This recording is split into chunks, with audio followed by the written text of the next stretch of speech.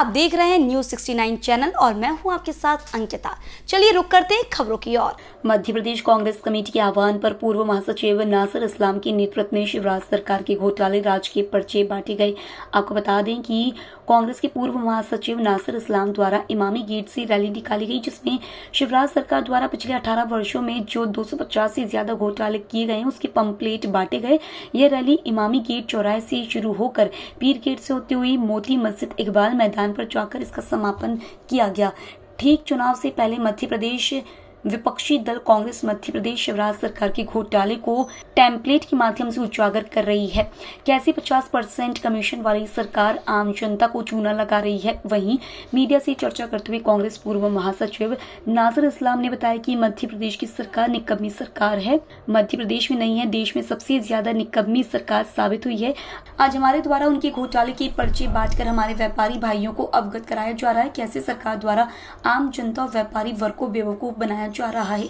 भोपाल से news sixty nine के लिए आदिल खान की रिपोर्ट। ये रैली नहीं है। हम यहाँ पे पैम्पलेटों का वितरण कर रहे हैं शहर के अंदर।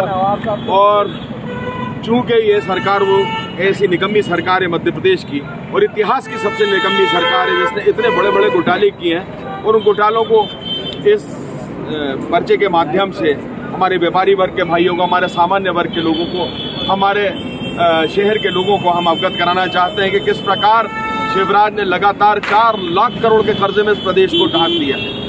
एक तरफ़ पुराने भोपाल की बदहालियाँ हैं, सारे शिक्षा संस्थान बंद होते चले गए, किसी के कान पे जू नहीं रहेगी सारे चिकित्सा, छोटे चिकित्सा केंद्र बंद होते चले गए, किसी के कान पे जू नहीं रहेगी आज पुराने भोपाल के अंदर एक छोटा सा हरा मैदान नहीं रह गया जिसके ऊपर बच्चे खेल सके निकल सके।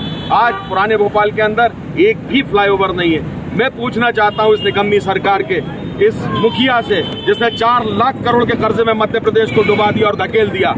और एक पूर्व महापौर की अब भी मैदान में आए बड़ी बेशर्मी के साथ। उनसे पूछना चाहता हूँ, क्या किया है तुमने पुराने भोपाल के लिए? अरे, भारतीय जनता पार्टी को तो अपना कैंडिडेट ही बिठा देना चाहिए पुराने भोपाल के अंदर। एक काम नहीं है तुम्हारा। कोई सा स्कूल नहीं छोड़ा, कोई सा कॉलेज नहीं छोड़ा, कोई सा ऐसा शिक्षा का केंद्र नहीं छोड़ा। सिर्फ़ फिरका परस्ती की बातें। अरे, रतलाम में जाकर जो आपने कहा था, यहाँ भी कही है ना, प्रत्याशी महोदय।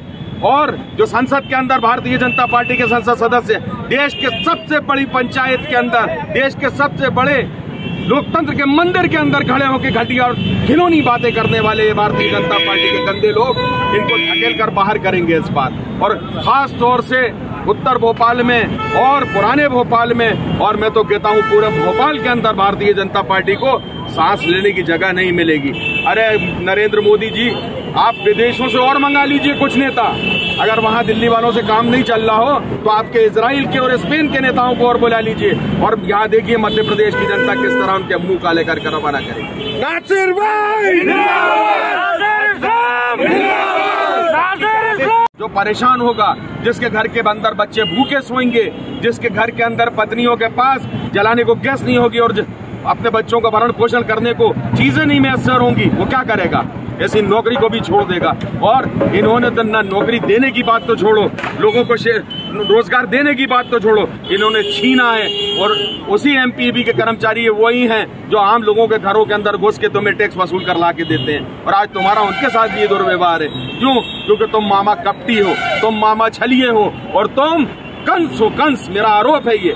और ये सिद्ध होता है मध्य प्रदेश के अंदर कि ये कंस मामा की अधिकतर विभाग धरने पर कमलनाथ जी के कार्य करने का तरीका पूरे देश ने देखा और देश ने ही नहीं विश्व ने देखा है किस प्रकार से कमलनाथ जी लोगों के प्रति अपनी भावनाएँ रखते हैं किस प्रकार से गरीबों के उद्धार करते हैं। किस प्रकार से आम जन के काम करते हैं? और दूसरी ओर, ये भारतीय जनता पार्टी के भ्रष्ट लोग, ये हम में से भी कुछ दलालों को ढूंढ लेते हैं। और वो इनके साथ मिल जाते हैं और शहर के अंदर तबाहियाँ होती हैं और वीराने हो जाते हैं इन सारी चीज़ों के अंदर। और खास तौर से इनके दलालों से लड़ने के लिए आज हम लोग नौजवान सड़कों पर हैं और रहेंगे और इस बार काया पलट करके इसी तरह की और खबरें देखने के लिए बने रहे हमारे साथ। देखते रहिए न्यूज़ 69 चैनल।